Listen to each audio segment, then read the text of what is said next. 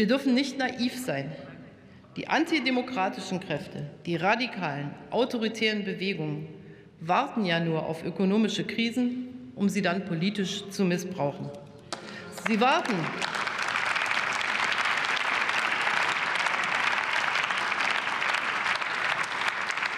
Scheint sich jemand angesprochen zu fühlen. Sie warten nur darauf,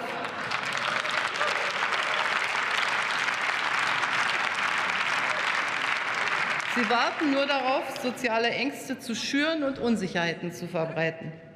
Sich für eine nachhaltige Entwicklung in allen Regionen Europas einzusetzen, ist auch ein politisches Instrument gegen Populisten und Radikale.